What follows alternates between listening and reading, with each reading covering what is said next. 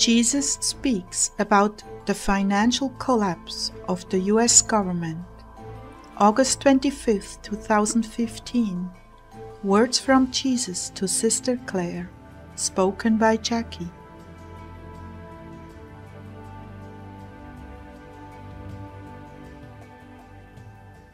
Clare began, Lord, I sense this heavy grief in your heart. You're wearing black, a black tuxedo, and I'm wearing a black satin evening gown with a gilded pink rose at the waistline. You've asked me to pray for my children and told me they are being sent back to me. What is all this about? Also, I see your eyes streaming tears of sorrow.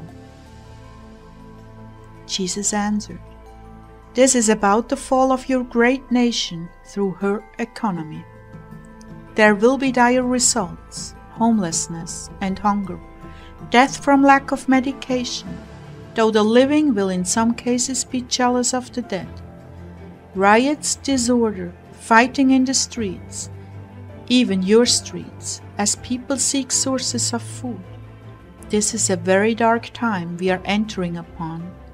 You have no need to worry. I will protect this property, this house. All that concerns you shall be protected. There shall be desperate repercussions for many, though.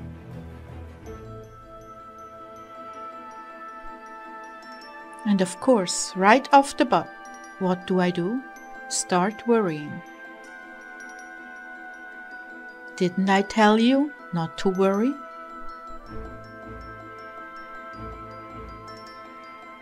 I know, Lord, but I was thinking of the electricity.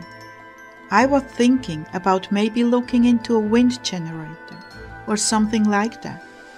Ezekiel went to the Lord for me and we got a thumbs down.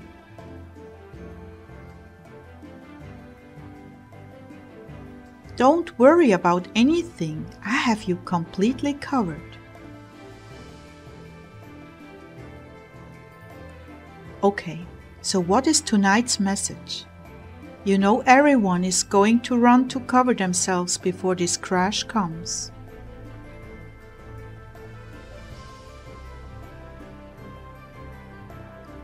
Commerce is going to go on. E commerce is going to go on. It is those dependent on government subsidies that are going to be hurting. Offices will close and no checks will be forthcoming. That is what is going to create the biggest disturbance. That is why I have told you not to have anything to do with the government and its subsidies. And for the reason that you are my servant, and as such I pay your wage. Don't worry, I am going to cover you. Some of those who have looked down upon you in scorn and contempt are going to be coming to you for help. It is my justice that the playing field should be leveled. Lord, this message is going to cause an uproar of fear.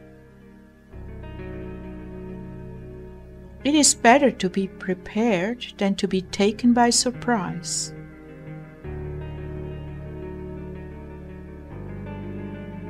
So, how are your people who are reliant on social security going to fare?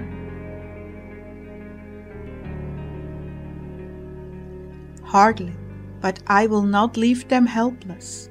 Are they not of more worth to me than the sparrows whom I feed every day?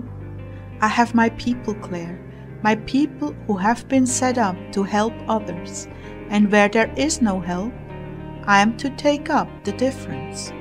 Does this scare you? No, Lord. Good. It shouldn't scare you or anyone else. I am faithful. I will do what is necessary for my flocks.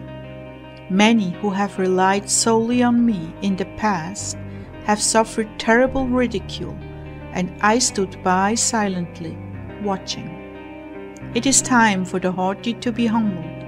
It is time for them to see that those who put their trust in me will be provided for and providing for them. How degrading this attitude has been in the past. This is one attitude of my bride that I will have cleansed from her. There will be much circumspection, re evaluation of goals and past behaviors, and they looked upon others as incompetent or sinful and lazy. Thus I will humble my bride and call her into account for those times she failed to show mercy and leniency. Oh, how I love her! Yet certain things are repugnant to me, and selfishness is one of them. Oh Lord, I know I've been selfish too. Thank you for helping me have a heart for those truly in need. It is so important to me that my ambassadors and brides reflect my mercy and provision to those who are in a weakened and tenuous situation. That is why I provide extra for many of my servants. I know they will use it on others, not on themselves. I count on that, Clare. I count on the mercy of those I give in abundance to. Not much longer now, my bride, and you will be with me. But in the meantime, reflect me to others. Be merciful, non judgmental, and liberal, especially with the poor. I'm calling on some of you now to be prepared for what is to come and share what you have with others. I will never fail to provide for you. The more you share, the more I shall give you. I love you dearly. Walk in my ways and my counsel.